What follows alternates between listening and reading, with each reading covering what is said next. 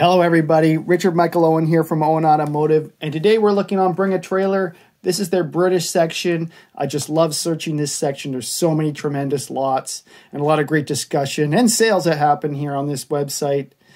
And what I'm checking out here is this 1961 3.8. It's a really early outside bonnet latch car, OBL, external latch, whatever you want to call it. And that means it's part of the first 500 cars. They're very special. They're kind of prototype cars because after the first 500, they really ramped up production and changed the specification on these cars. And this one's pretty neat. It's very early, April 18th, 1961. It's number 23 of the left-hand drive Roadsters. So it's going to have all the very first details because within the first 500, the specification changed quite a bit. There was a lot of notable changes that happened even within the first 500. So yeah, if you can see here, it says it was delivered new in Carmen red. So at some point, this car was changed to Primrose Yellow. I think Primrose Yellow must have been really popular in like the 80s or 90s. I'm not sure because even my own car, a black on black car, was painted Primrose. Now here we look, we can see the interior here, and I see a lot of original details. Wow, the original seats it looks like. So it'll be pretty interesting to deep dive into this thing and show the details yeah, the engine bay. Yeah, we're going to talk a lot about this car and all the details. There's the uh, heritage certificate. Here we can see April 1961, Carmen red with black interior. Okay, well, let's get into the photos here. Here's the rear photo. Looks like it's on some old tires. Gaps look pretty good. Looks pretty dirty. The windscreen looks pretty dirty there. But the, everything looks nice. The belly pan looks good. Looks like a bit of overspray in the wheel arch there at the rear and at the front for when it was painted yellow. And we'll move to the side now. Looks like a very good car with nice gaps. Front bumper kind of curves up a bit here, but no big deal. Yep, big long resonators in here. That's a 3.8 detail. Next. Uh, we already saw this picture. Okay, from the front. Yeah, you can see this bumper here on the left. It's drooping a little bit. And this is something that has to get set up right on cars before they go to paint and body. This might be a very simple adjustment. Um, the nose here, it, it looks pretty good. I don't know why it kind of kicks down at a point at the bottom here. Maybe just a slight dent in the nose. Um, yeah, otherwise looking good, nice and symmetric. Good from the other side. The hood might be able to be shimmed differently to reduce this gap, not sure. I'd go and look and see how many shims there are in there. And if there are shims removable on both sides, that nose can be pushed back a little bit. And the hardtop, well, let's talk about that. That's pretty rare. Um, you know, it has all the chrome there on it. These are exceedingly difficult to restore. It's two layers of fiberglass and some unobtainium kind of plastic material that's on the inside. So that those things are not, they're a pretty serious thing to restore, actually. I've, I've done one and it wasn't easy. Looks pretty good from the other front three quarter and the other side. And the rear with the rag top on it now, that's looking pretty old, but yeah, it's there. Nice to see. Here, if you're looking at the rear, the belly pan, I still see the spot welds on there. I think that's nice. Washington. Now, that's a good area for a car. It's kind of just below the rust belt. And yeah, all the cars that we get here around in BC, at least, the ones that come from Washington are really nice. Uh, the bumpers are sitting really nice. Trunk sitting really nice. Looks really good from the rear. Oh, look at this from the top. Was this with it from a drone? This is a pretty neat shot, actually. Kind of show makes the E-Type look kind of stubby. Yeah, very cool. Another one from the from the upper high. We are looking at the bumper. Uh, trunk gap's okay. See the early cars just say Jaguar on the trunk. Tail light here. Looking all original Lucas lenses. Rubber looks good. Chrome looks passable. Little pitting on there. Look at this. This uh, this must be something special. Something about this lens. I'm not sure. Early lens. Here's where the license plate goes. I don't normally see this square section in here, so that's new to me. That's pretty cool. Uh, the the license plate lights are, are Butlers. Now, that's a really early feature. I think later on these were Lucas or, or another name. But yeah, the Butlers license plate lights are pretty special. The other tail light there, rubber looking a little perished. And the tail light reflector. Well, we're getting in detail here. Look at these uh, tail lights. Holy. Okay, um, got the hard top. You can see that seal that kind of runs along the edge of it. Uh, I, I don't know. That may have been replaced. I'm not sure, but uh, it looks kind of wayward to me. Here we are, the front lights and the glass around it. Now that front fender's sticking up all, quite a lot there. If you, if you look into the headlight area here, you shouldn't be seeing that, that, that yellow there. I'm not sure if that's a pre-prototype thing or Somebody's been in there doing some metal work up at the top here. It looks wayward too. Maybe that's just the way these cars were made, but somehow I doubt it. I, I wonder if something's happened to this side. There you go. You can see the triplex uh, original lens in there. Now that's a sign that maybe it hasn't been in an accident or anything. So yeah, definitely have a look at that side. Yeah, you can see a lot of yellow around the other headlight. Um, sugar scoop area too. So I'm not sure. Usually on cars, you do not see the bodywork poking through like that. Yeah, those tires are old. They gotta go. And there's the fastener for the headlight surround, slotted. There's the outside bonnet latch, the, the little um, receiver end of it. Open that flap up in there and put in the T key, they call it. You can open up the hood. That's the way it's latched. Inside the fuel filler area looking good. Wipers looking good. Um, what am I looking at here? okay, so the wins with the window finisher here, it kind of ends on this squared piece. That's a very early detail. This isn't finished nicely, but it's nice to still see that that this is a feature that's only on the early cars. And this door finisher should kind of have a little bit of a lip on it. Can't see it here because the doors can should be actually two piece on these having a good look at these wipers. oh, and there's that finisher piece, that square piece. That's only on the early cars for sure. Wipers again, wipers. Front windscreen triplex, that's nice to see.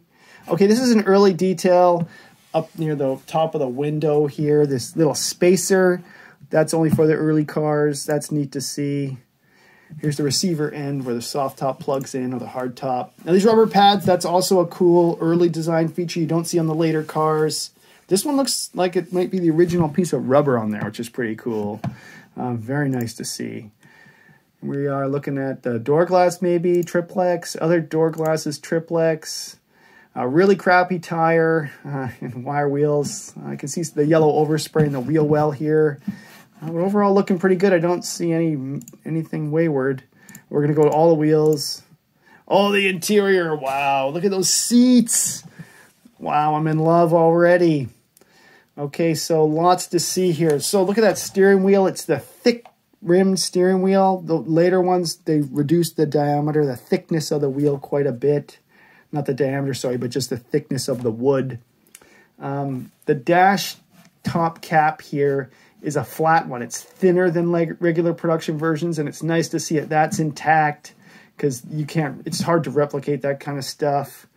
And I'm just going to assume that this is all the original aluminum, which is lovely. Um, even the remanufactured aluminum isn't quite all the way correct, so it'd be nice to save all that with this car, or just leave it as is. You could leave this car as is and drive it on the road. That'd be fine. Um, yeah, there's that steering wheel. Oh, and look at that. It has the aluminum that goes all the way through the wood, all the way around. I think that's very rare and only on some of the very first cars. How neat is that? Wow, what a what an interesting thing. Oh, there it is in detail. You can see the aluminum. It runs right through the wood. That's very cool. These look cool too. The handbrake brake fluid uh, light here. It looks like something was gnawing on it though.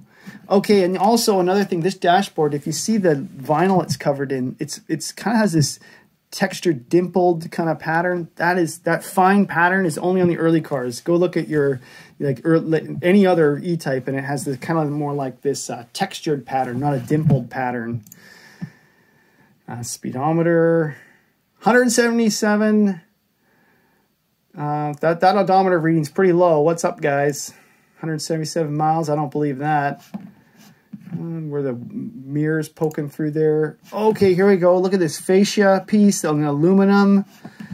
Wow. So yeah, obviously looking like the original one. Definitely would save that. And I've tried to anodize aluminum, these old pieces like this, and every little dot you see here, that's imperfection, it shows off even more so. And so if I was doing this car, I'd try to save this piece, but I wouldn't try to over restore it. I don't know, you might be able to do a light polish, clean it up, and preserve it. Um, look at that cigar lighter. That's the same that I see on the XKs. Holy, that's kind of neat. And the info strip looks like the original one, and it's intact. So yeah, this car was pretty well looked after. I'm pretty impressed by that.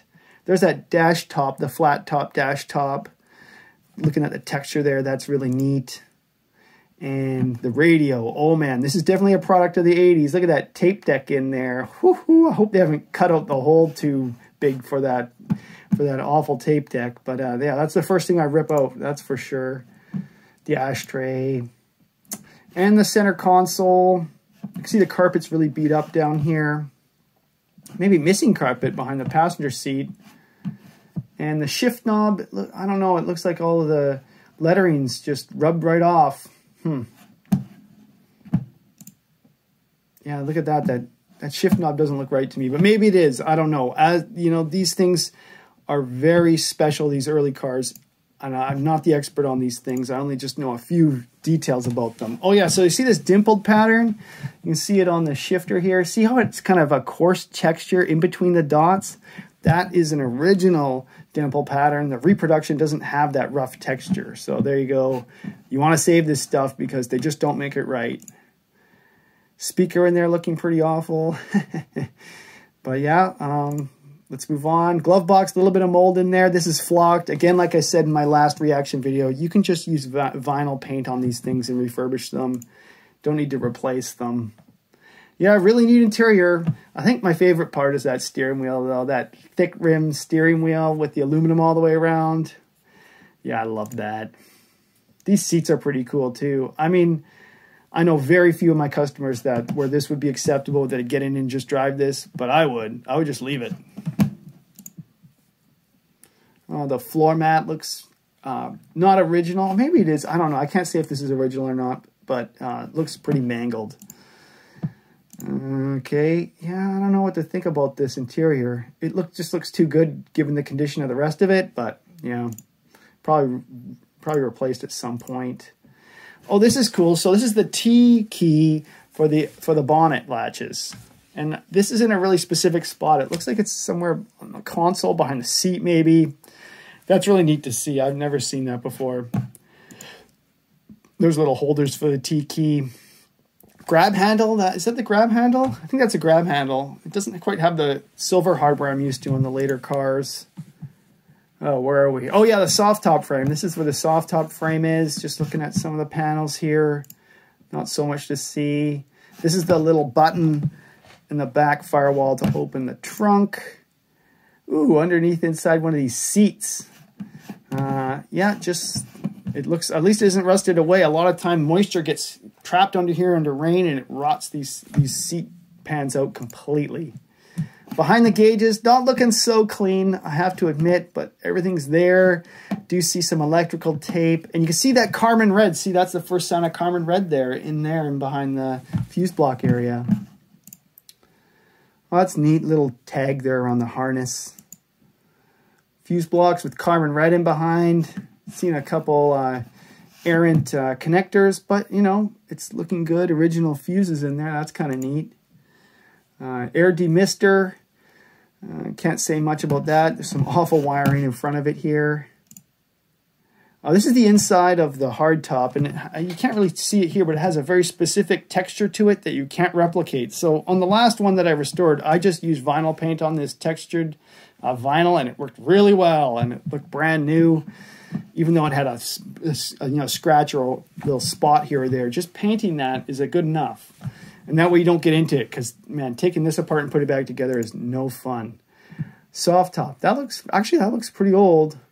That looks pretty old. That soft top. Door panel. Not much to see here really. Uh, hinge, I think this is an early hinge. I think this is a grease nipple up here, which makes it an early hinge, door hinge. So yeah, stuff like that, just little details are what make these cars different and so much harder to restore. Because if that hinge is worn out, you got to repair that hinge. You're not buying a new one. And like, there's so many pieces to these cars that are like that. This sill, um, I wonder if it should have a chrome finish here. Here, I'm not sure. I'm not sure, but uh, that sill material looks like it must have been changed at some point. I'm not sure actually. The, spe- the absolute top guy that would know this would be Michael C. Mueller. He wrote the book on these things, and he's the kind of guy that could probably dissect this 10 times better than I can. But here we go. You know, I'm having fun. I like to share these cars and share my thoughts. Uh, door seal looks like it's been replaced. I'm not sure what to think there about that door seal. Uh, the other door panel looking kind of floppy. Oh, we see more Carmen red up here. Now, when they painted the primrose yellow, they just painted some of the wires. Man, that's such a pet peeve of mine. Just get the masking tape out, people. And so, yeah, hmm. likely this interior is all just uh, some reproduction um, pieces from the 80s. Uh, except for the seats. Those seats look original. Underneath the doors, you know, look at that. No rust. See those little drains there? They're kind of riveted on either side. That's interesting to see. Um, really, really sound and solid car. Trunk drain? Is that a trunk drain? Yeah. Kind of neat. Oh, we're here. We're inside the trunk. Look at that tan uh, upholstery. That's looking pretty, pretty, pretty good. Might be the original tan upholstery in there, and that that that panel on the side there is made of cardboard. Believe it or not. Yep, inside the trunk, pretty tidy. This is the access panel that we don't get on the later cars. It lets you access the inboard rear brakes. And here we're seeing the fuel tank and the original line and a funny looking fuse maybe for the fuel pump. The fuel pump in this is going to be in the tank. Later cars it's external, but the fuel pump is actually on the on the top of the tank there. The wooden pieces above the tank and the spare wheel. And here's the spare tire area here.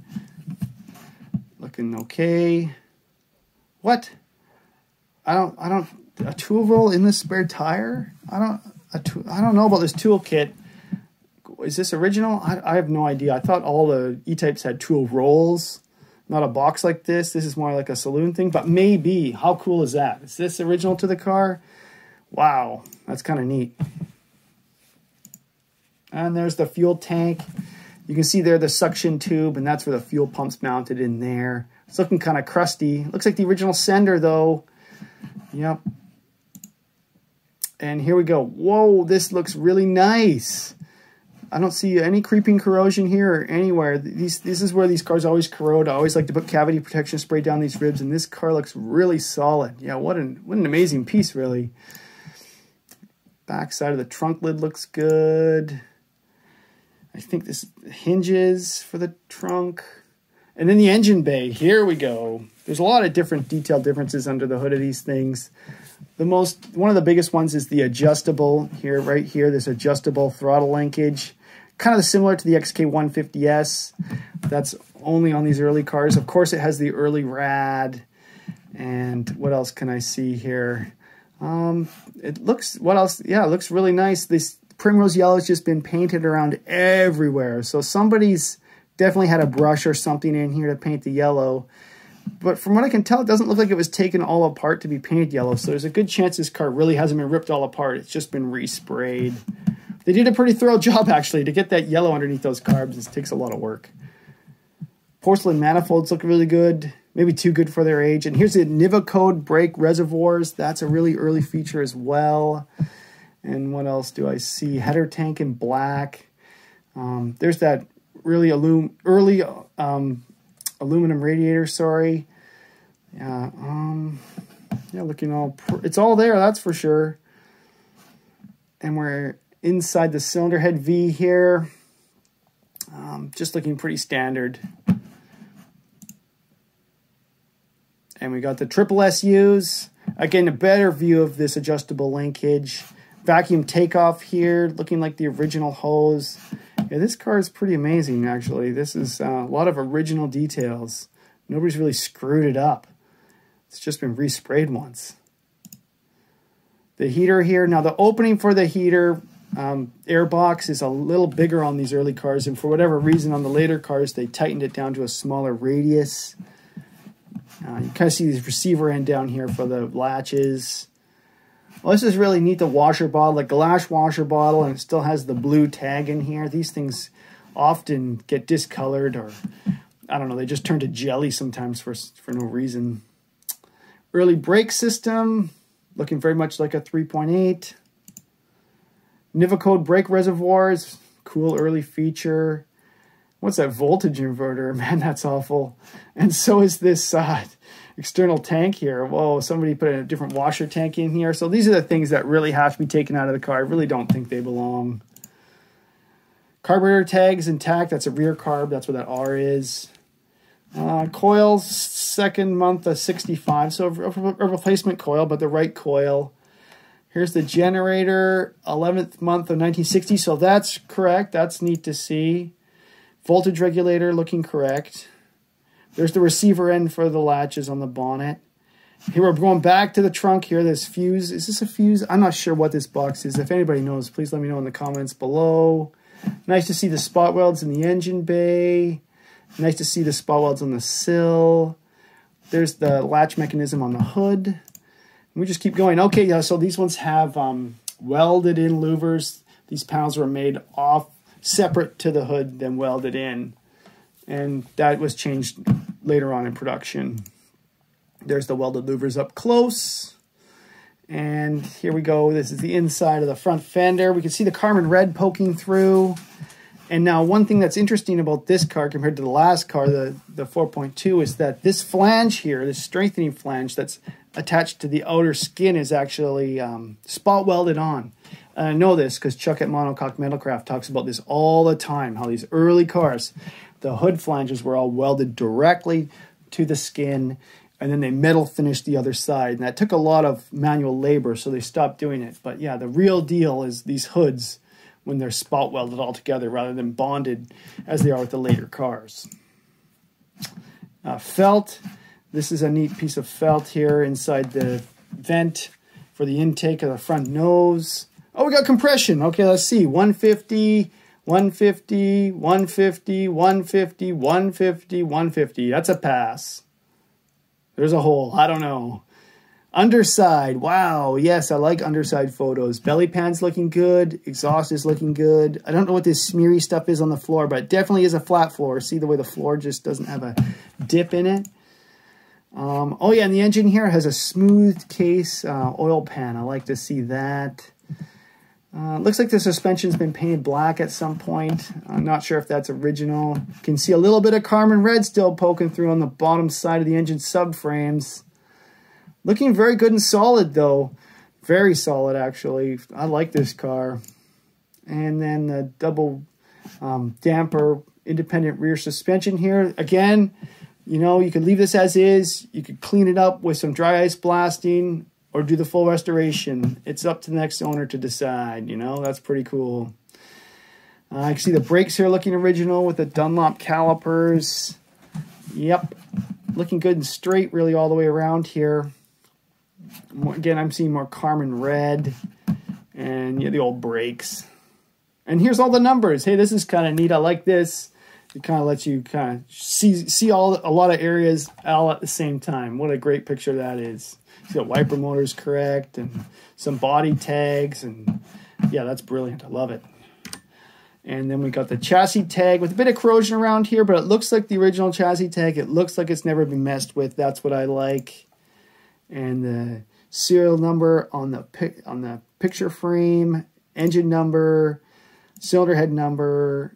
Oh, that's neat. Look at that date. This engine was made in 61. I love that body tag. Not even sure what this is. Is that a differential? I'm not sure. That's a differential uh, gear.